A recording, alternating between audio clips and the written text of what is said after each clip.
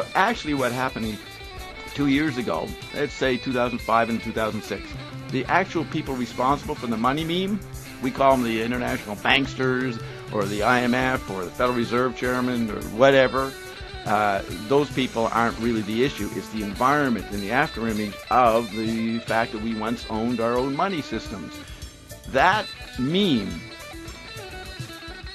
and the people responsible for creating the virtual image of that meme, they said, my team actually said, we've got to put a stop to the inflationary effects of the digital economy on the money meme.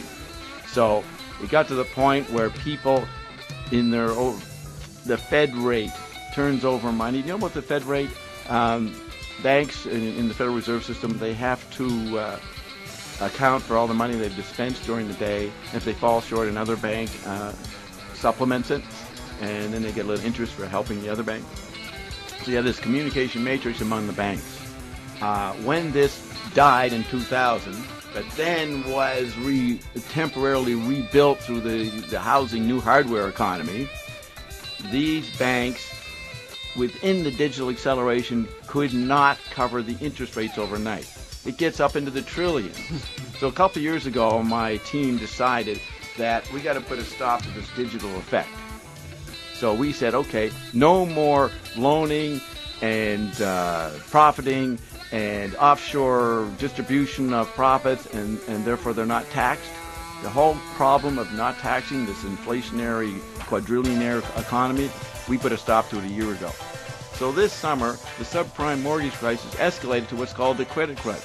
What is the journalistic expression of what's going on? None of the banks in the United States will communicate with any other bank, i.e., loan them money or receive loans and call it profits. The hedge funds reality has collapsed. Stephen Schwarzman, in early February this year, 2007, had a birthday, I think it was his 60th birthday, celebrating himself being the richest man on Wall Street, the most successful. He had a big hedge fund victory legacy.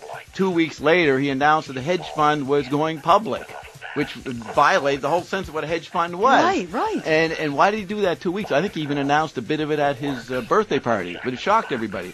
But the point is that he had heard that our team had put a stop to the whole virtual economy, and he knew. So what do you do? You pretend there's a public and give them the money and say, hey, come on in. Pretend there's somebody here to come into and to be to receive you. So Schwarzman is an example. As usual, if you make it big, you win an Oscar, you get on the cover of Time magazine, you make a big hit record, you're doomed. You're going to get nailed by the Android meme in some way. That's why you should be a member of my little team called Unknowns Anonymous. Okay?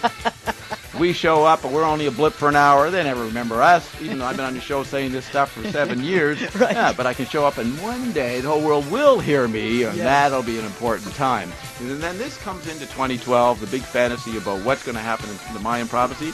Well, I'm telling you people, 2012 is happening right now. 2007, 2008, and it's symbolized by this victory that my team is expressing.